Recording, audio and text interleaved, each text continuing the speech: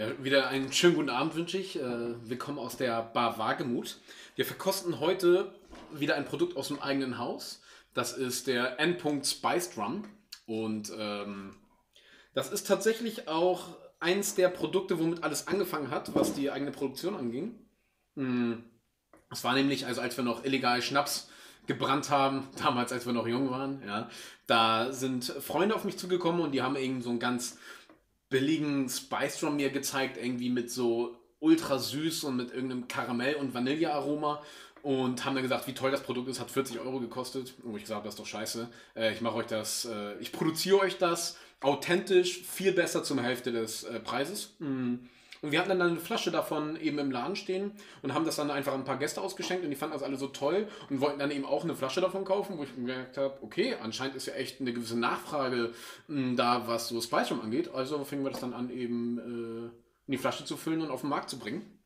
Was wir nicht gemacht haben, ist äh, an erster Stelle haben wir schon mal einfach eine anständige Rumqualität als Basis. Also ihr müsst euch vorstellen, was Spice Rum generell angeht, das ist eine Art Neutralalkohol in der Regel, die eben aus Melasse gewonnen wurde, also ja, es ist eine Art Wodka. Die wird dann aromatisiert mit äh, künstlichen Aromen, mit Farbstoffen, mit Zucker vollgepumpt und dann wird das alles in eine tolle Flasche irgendwie gefüllt mit einer super Marketing-Story, ja, und dann kommt das eben auf den Markt ist halt nicht so geil. Und daher hat man dann eben auch diese immensen Kopfschmerzen am nächsten Tag, wenn man eben Spice Rum trinkt. Warum ich immer sage, nein, von unserem Stoff kriegt ihr keine Kopfschmerzen. Und nein, das liegt auch nicht am Zucker, hier ist auch Zucker drin, sondern das liegt einfach an der miserablen Alkoholqualität, die eben durch den Zucker wiederum überdeckt wird. Und warum das Ganze eben nicht ganz so ich will nicht sagen, nicht so schlecht schmeckt, weil es schmeckt scheiße, sondern deswegen schmeckt das nicht so kantig, wie dieser Fusel eben eigentlich, äh, oder diese kantigen Noten, die der Fusel eben auslesen würde, die sind dadurch eben nicht da. Hm. Hm.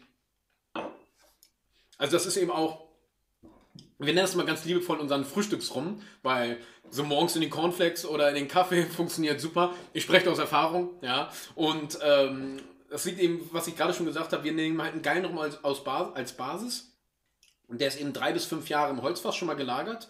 Und dann ähm, nehmen wir eben Vanilleschoten, legen diese Vanilleschoten in Zucker ein, kochen das Ganze zu einem Sirup eben auf. Und das wird jetzt dort langsam hinzugegeben und dann nochmal gemeinsam im Fass vermehlt sozusagen, dass sich die Aromen auch richtig schön verbinden können. Und dadurch äh, erzeugen wir einfach eine Harmonie und eine Komplexität, wie man die sonst in einem Spice Rum eben nicht findet. Und das war's. Also mehr passiert damit nicht. Es ist echte Vanille drin, ausschließlich. Es sind eben echte Vanilleschoten und nichts anderes. Äh, und kein Aroma, kein was auch immer hier Chemiebaukasten. Nur das und ja, ist eben. In der Nase haben wir vor allen Dingen die sehr authentische Vanillenote. Viele wissen gar nicht mehr echt, wie Vanille schmeckt, weil man die ganze Zeit die eben nur aus dem Chemiebaukasten hat. Mm. Und diese schöne Vanillenote, angenehme Holzanklänge, leichte, ja, eigentlich war es das auch schon. Es ist natürlich jetzt nicht das überkomplexe Produkt, es ist halt, wie gesagt, der Frühstücksrum. Und das gleiche spielt sich dann mit einer angenehmen Süßes, jetzt aber auch nicht zu süß, eben im Gaumen ab und ja, zu jeder Tageszeit, anstatt eine Creme Brûlée, ja, äh, das ist das Einzige, was bei uns auf den Tisch kommt auf jeden Fall. In dem Sinne, ne, schönen Abend und zum Wohl. So, wir haben noch keine Zeit. So, Julian, jetzt erklär mal den Leuten, was hier los ist. Achso, okay, ja. Äh, also der Nico, der macht hier immer super Verkästungsvideos, wie ihr seht, ja. Wir haben immer ganz tollen Scheiß hier im Glas. Und äh, wenn ihr mehr davon hören wollt, dann drückt doch einfach hier auf Abonnieren und dann könnt ihr uns jede Woche zugucken. Tschüssi.